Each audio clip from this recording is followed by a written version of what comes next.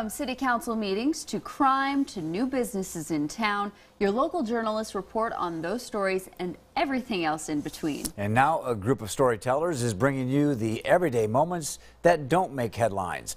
In tonight's Eye on KELOLAND, Kelly Volk shows you why a day in the life of Freeman is anything but ordinary. It looks like your typical morning meeting in a newsroom. The team gathered together, cameras ready to go, and stories waiting to be told. But you're not looking at an entire newspaper staff. Instead, the room is mainly made up of students from Freeman High School and SDSU. In at 12:15, Freeman Courier publisher Jeremy Waltner is addressing the group before sending them out to capture a day in the life of Freeman. Just to be able to say to them, go, go out and do this, and then turn them loose. Um, it seems so simple, uh, but so special. The concept is fairly simple. Document an ordinary day in the southeastern KELOLAND community. And we're just covering everything that goes on in a small town. SDSU senior Taylor Moline and several others stopped at Freeman High School right away in the morning to interview FFA students and snap some pictures of students working.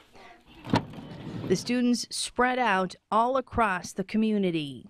I know a lot of people here, but there's just a lot of people that I don't know. And like having to approach someone, asking what their name is, taking pictures of them is a lot different than just walking around your town, just living in your town. The project is giving SDSU instructor Frank Robertson's students a taste of reporting in the field.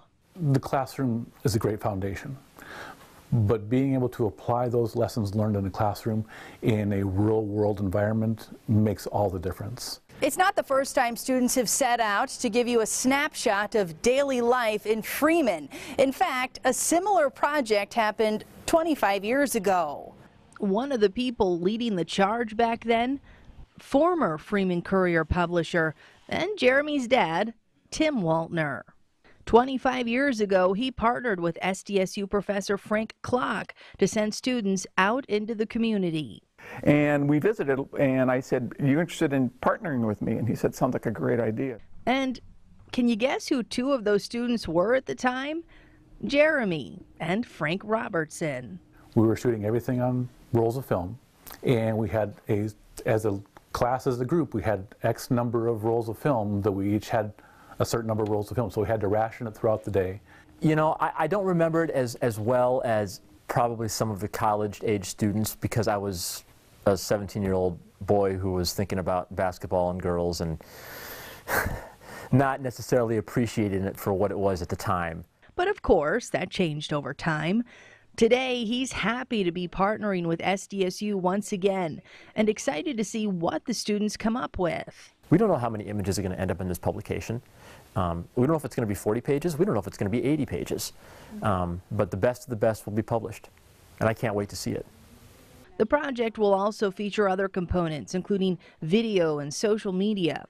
But the objective remains the same more than two decades later. It's such a simple concept. Go into a small town and tell the story of that day in a really engaging way. But you don't hear about this. I don't hear about this project being done in other places, a project like this. And yet it's so, and here we are and we're doing it. Um, twice? Twice.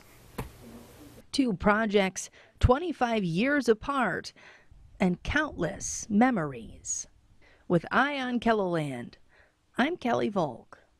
Jeremy Waltner says that they hope to publish a day in the life of Freeman by the end of May. In the meantime, you can learn more about the project on the Day in the Life of website or on the Facebook page. We've included links to both under this story at KELOLAND.com.